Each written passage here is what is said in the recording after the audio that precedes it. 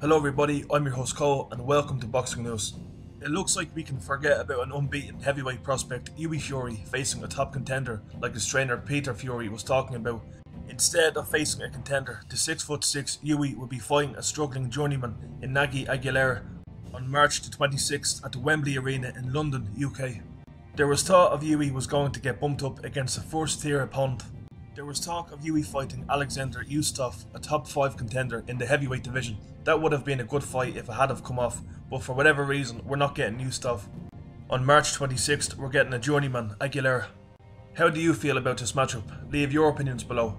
Thanks for joining me, and be sure to subscribe for the latest in boxing news. Take care.